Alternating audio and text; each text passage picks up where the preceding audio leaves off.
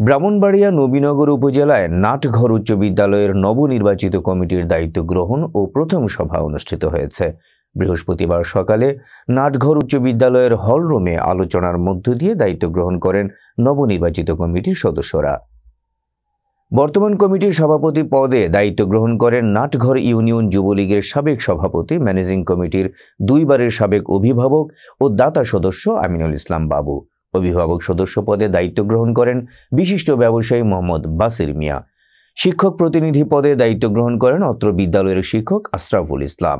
এ সময় নবনির্বাচিত কমিটির সভাপতি আমিনুল ইসলাম বাবুর সভাপতিত্বে বক্তব্য রাখেন অত্র বিদ্যালয়ের প্রধান শিক্ষক মোহাম্মদ আবদুল্লাহ, অভিভাবক সদস্য মোহাম্মদ বাসির মিয়া, শিক্ষক প্রতিনিধি আশরাফুল ইসলাম এই সময় আরও বক্তব্য রাখেন বিটঘর ইউনিয়ন পরিষদের সাবেক chairman Abdul Kaiyum, Shahjahan Mahajan, Al Amin master, Abdul Jalil master. এই সময় গ্রাম প্রধান সহ নাটঘর গ্রামের গণ্যমান্য ব্যক্তিবর্গ উপস্থিত ছিলেন। অনুষ্ঠানের শুরুতে কমিটির সভাপতি সদস্যদের ফুল দিয়ে বরণ করে নেন অত্র বিদ্যালয়ের শিক্ষক মণ্ডলী সহ আমন্ত্রিত অতিথিবৃন্দ।